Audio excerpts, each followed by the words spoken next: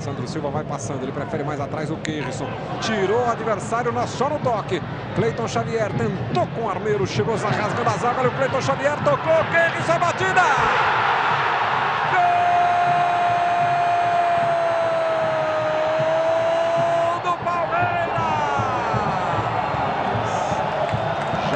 Rotina, é sempre ele, Keirson!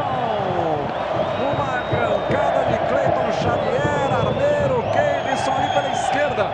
Ele dominou, teve calma e soltou a bola lá para o canto esquerdo. A marca dos 15 minutos. É o K9. Keirson, Palmeiras 1, Noroeste 0. Maurício Noriega. Esse time do Palmeiras é muito rápido de reação, né? veloz com a bola nos pés, veloz sem a bola. Isso ficou provado nesse momento em que recupera o Cleiton Xavier, quando o Noroeste tentava sair, já desarrumada a defesa. E o Palmeiras insiste. Diego Souza. Bola curtinha ali para o Cleiton Xavier. Aí para o Capixaba. Tentou um passe mais à frente. Sandro Silva. Recebeu, olha lá para o meio, vem cruzamento. Keirson!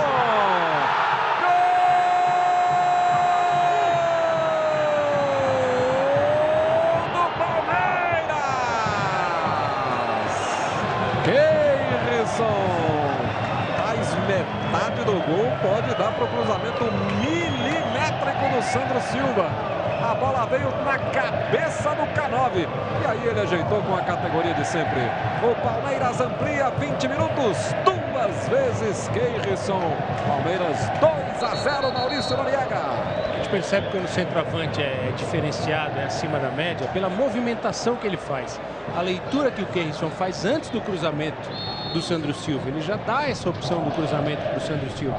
Se posiciona muito mais rápido do que a defesa do Noruega.